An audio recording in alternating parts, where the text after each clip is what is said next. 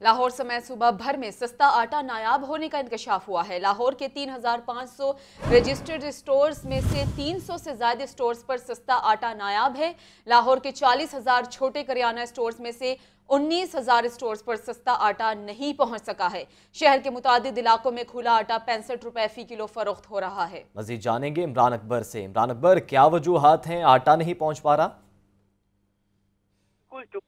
इस वक्त आटे का मामला है और सुबह भर में 16 अरब की सब्सिडी है महाना।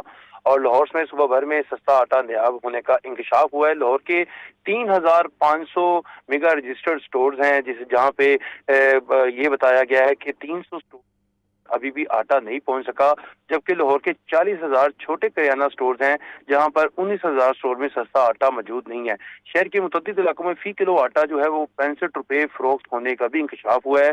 ज़िले इंतजामिया की रिपोर्ट के मुताबिक बड़े स्टोर सस्ता आटे का इस्तेमाल कमर्शियल करने लगे हैं, जिसमें होटल रेस्टोरेंट तंदूरों को इब्तदाई सस्ते आटे की खेप फरोख्त होने लगी है। लाहौर के मुतद इलाकों में शहरी सस्ते आटे के हसूल के लिए रुलने लगे हैं, जबकि महाना सोलह अरब के सस्ते आटे का नारा महकमा खुराक पंजाब के बनाए गए अर्बन रूरल फार्मूला की नज़र हो गया। इस वाले से लाहौर की एक करोड़ ग्यारह लाख अर्बन पॉपुलेशन को डिमांड के बरक्स गंदम फ्राहम की जा रही है।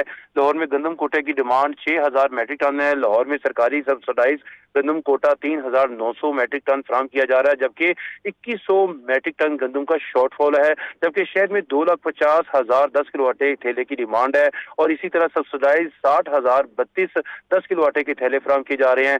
सब्सिडाइज दस किलो आटे का थैला चार सौ नब्बे रुपए में फरोख्त किया जा रहा है मगर मुतद आपका बहुत शुक्रिया।